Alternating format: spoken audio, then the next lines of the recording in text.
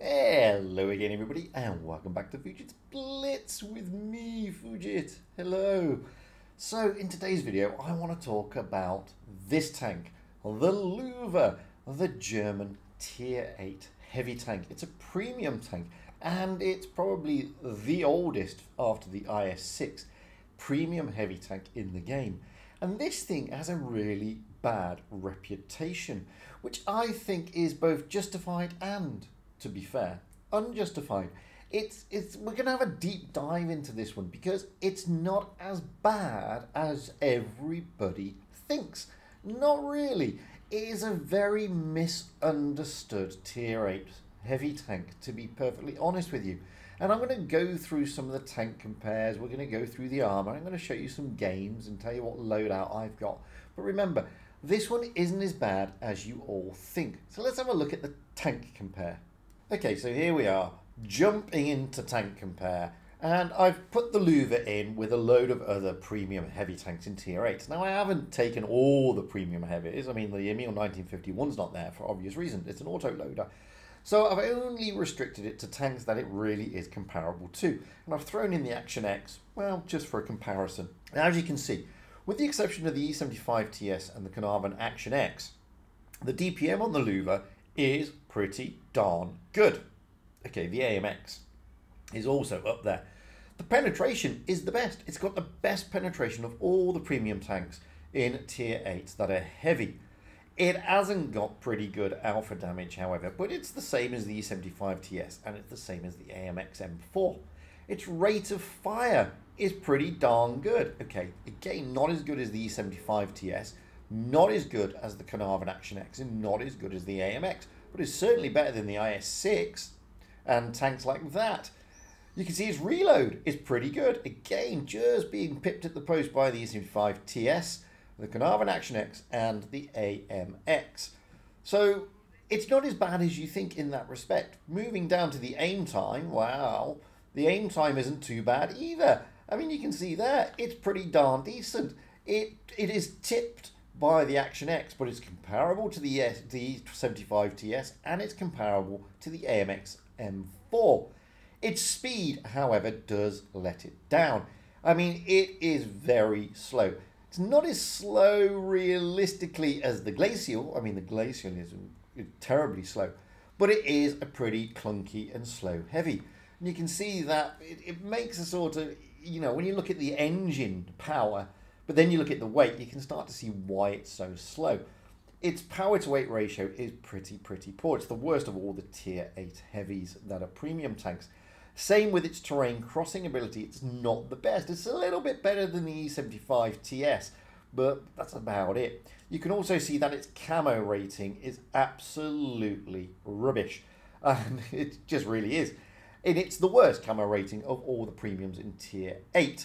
However, it's got pretty good coefficiency credit-wise. It's got the best, actually, 185%. The others got 170 to 175%.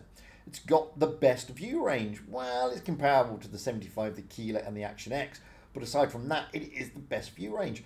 It's not got the best HP, but it's only being beaten by another 50 points by the by the 75 TS, the Kila, and the IS6. Aside from that, it's average HP-wise.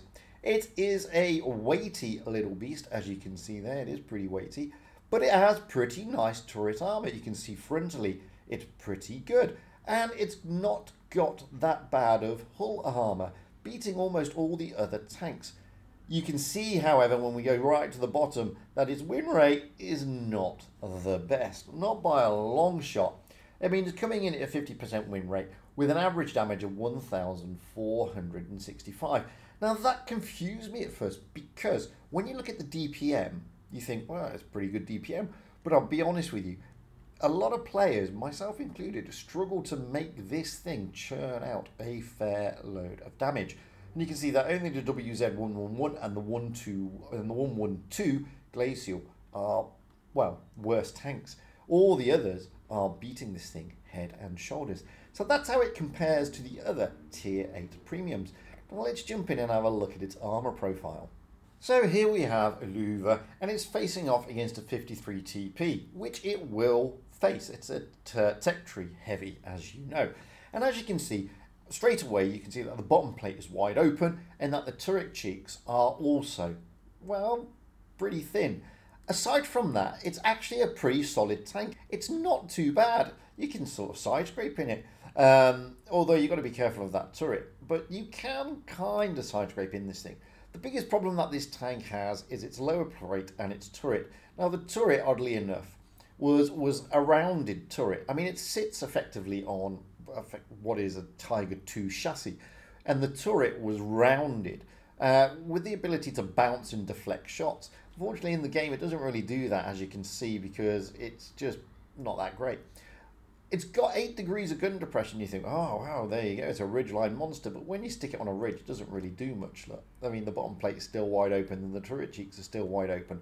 So you have to be mindful of this one. However, you can bounce a lot in this tank because I'm going to show you exactly what you can do in this thing. So that's the armor profile. That's what it looks like. It's not a big red tomato, but it's not as bad as a lot of people assume. Now, before we jump into some replays, I just want to show you my equipment loadout. At the moment, I've got calibrated shells. Why?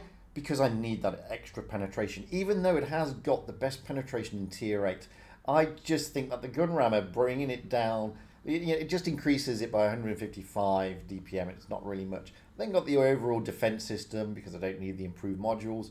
I'm not running a camo net. Then I've got a supercharger. Now, many, many people say, well, why have you got a supercharger? I think, personally, the Löwe runs better with a supercharger. Now, I could have it with the enhanced gun laying device. That only gives me 0.3 off my aim time. I've already got a 3.9 you know, aim time, which isn't that bad. Knocking 0.3 off that doesn't really alter anything, to be fair.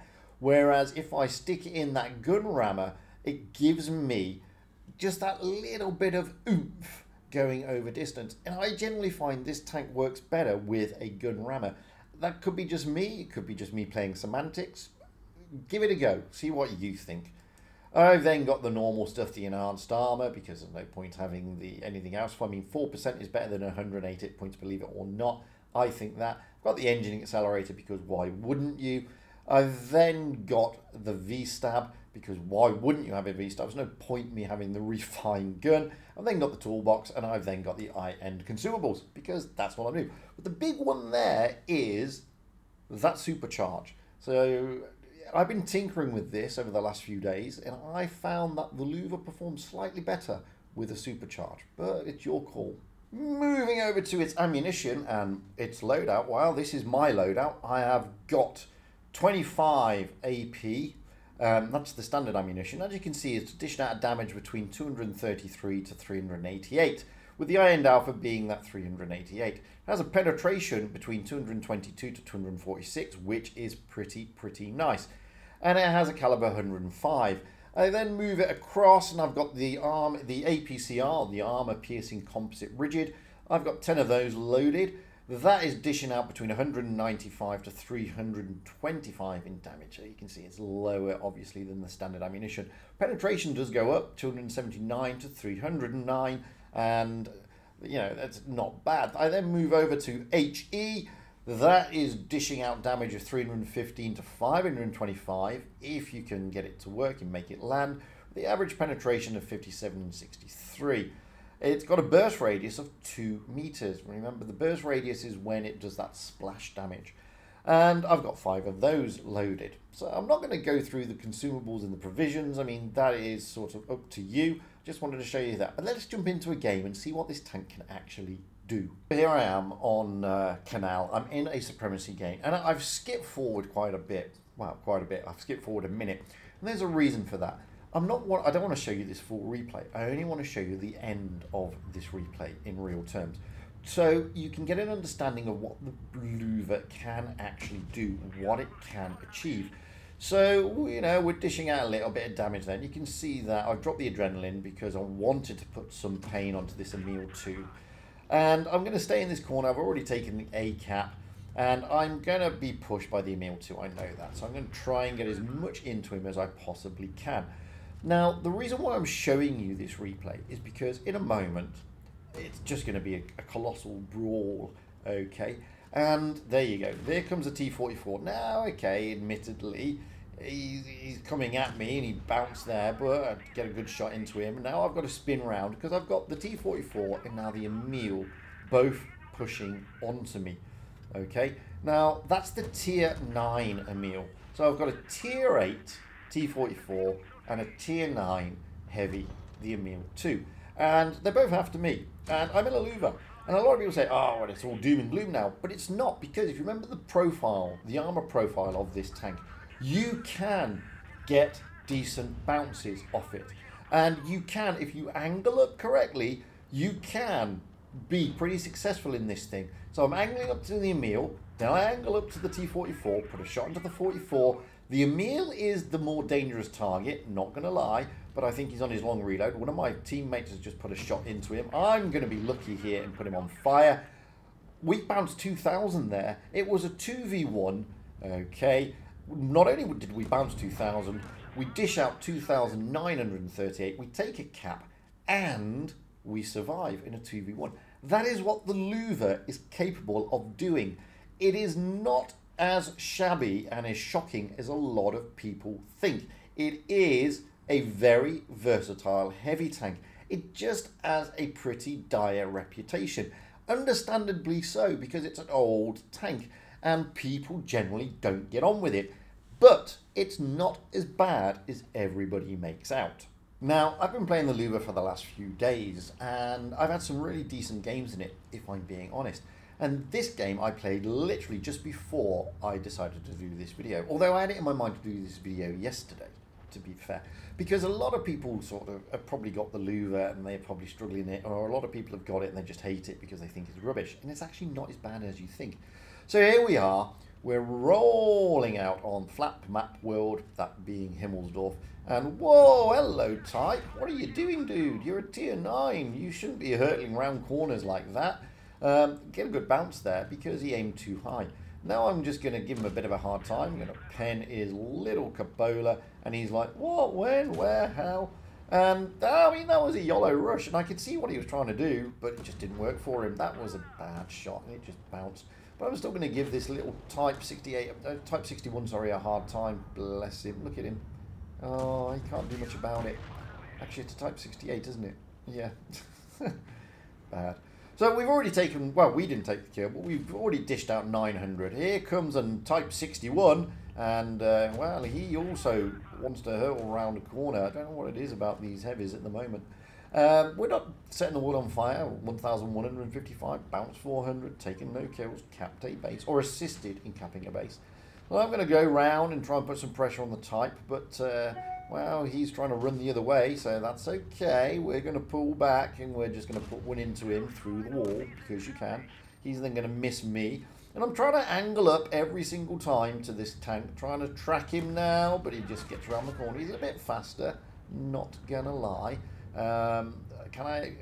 No, just haven't got the aim time. So now I want to if I can push round onto him, I'm, I'm worried about their TDs that are over in that corner that I can see. Well, I'm going to push round onto him, try and put a shot into him here. Yeah, we'll finish him off. Now I can see there's a Tiger 2 pushing and push the ball Borsig out, the, uh, the, the Waffle Traeger out of the way. Can we track the Tigger? Yes, and we get a good bounce because we're angled up. Now we're going to push through to this little rock pile we're going to try and get these tracking shots, try and get to this bottom plate of this Tiger. You can see there's not much open there.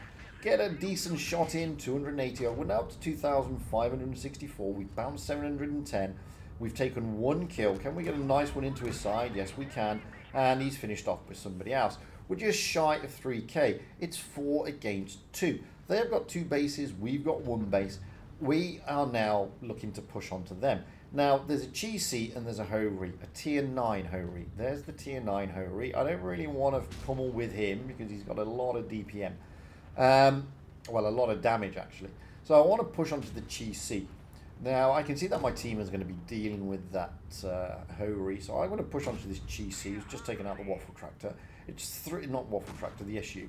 It's three versus two. Get a good bounce there, but, but, he has got the drop on me to an extent. gain. I get I, I, that I outtrade him. And now what I need to do here is try and get the bounces and try and outtrade him if I can. This is why I'm up close and personal. He is also using Pramo, so don't just sit there thinking, oh, but it's Fuji, you're Pramo spamming. He too is using Pramo. That's why he was low rolling. And I'm also low rolling, but at the moment I'm out trading him. Only just. Only, only just. So I've got to get a good roll into him there. Thankfully I was able to switch to standard ammunition. I'm at 4.3. I need the bounce. I get the bounce. Switch back to the Pramo make sure of the kill shot. And boom. Get the kill shot. 4,416. 1,300 bounce. Took a cap. And got a couple of kills what does that give me? Well, that gives me quite a lot. And it gives me that, the golden M.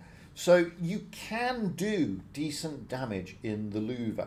You can have decent games in the Löwe.